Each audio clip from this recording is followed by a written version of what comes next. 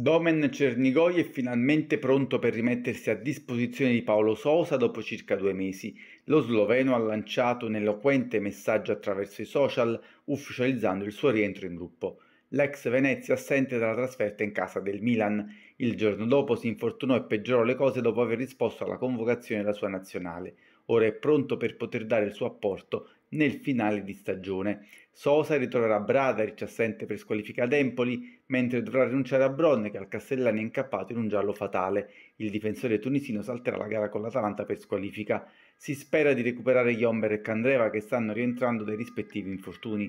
Lo slovacco è un perno imprescindibile del reparto arretrato e la sua assenza è stata pagata a caro prezzo. Basti pensare che dopo la sua uscita dal campo con la Fiorentina la Salernitana ha incassato tre gol contro i Viola e due ad Empoli. Il recupero di Jomber potrebbe consentire a Sosa di schierare la difesa titolare con Daniluk e Pirola ai lati del centrale slovacco. Non esclusa anche una soluzione all'insegna di una maggiore esperienza contro Stekong che potrebbe trovare spazio a prescindere dal rientro di Jomber.